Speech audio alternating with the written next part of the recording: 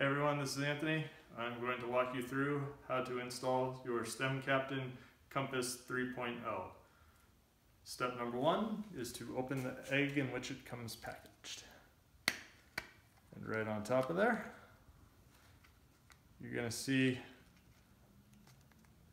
a non-magnetic bolt.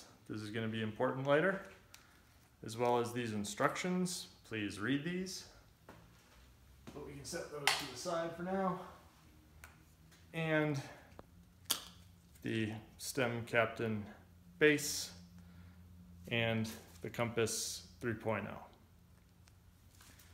So we'll set these to the side as well. And what you're gonna want is a four millimeter Allen key. This is standard on most multi-tools. And you're gonna use this to remove your old top cap bolt. So that's this bolt that points upwards. And you should be able to just hold on your handlebar and that should unscrew quite easily.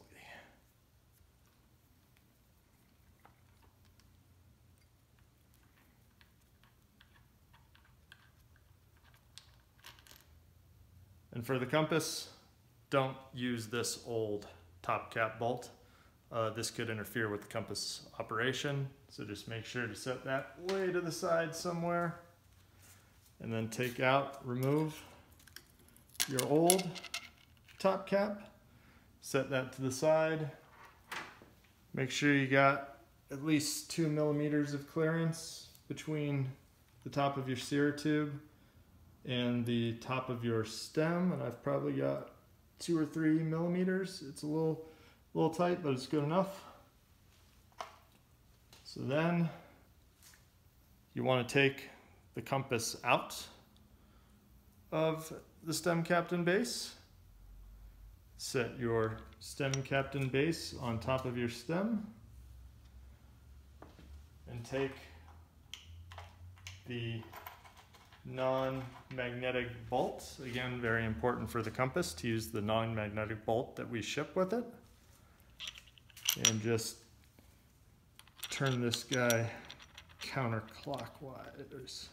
I'm sorry, clockwise to tighten it. And then that doesn't need to be too tight.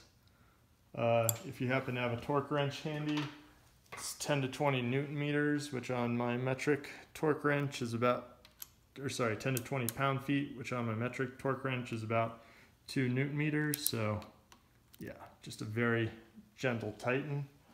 Um, and if your headset is already set up correctly, you should not need to loosen the bolts of the stem itself. So then you want to take your compass. There's a little plastic nub. Might be kind of hard to see, but it's there. You can feel it very easily and that goes downwards.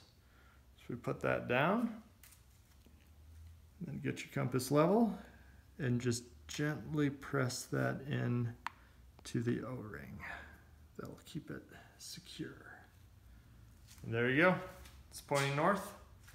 And I assure you from how this garage is laid out that that is north.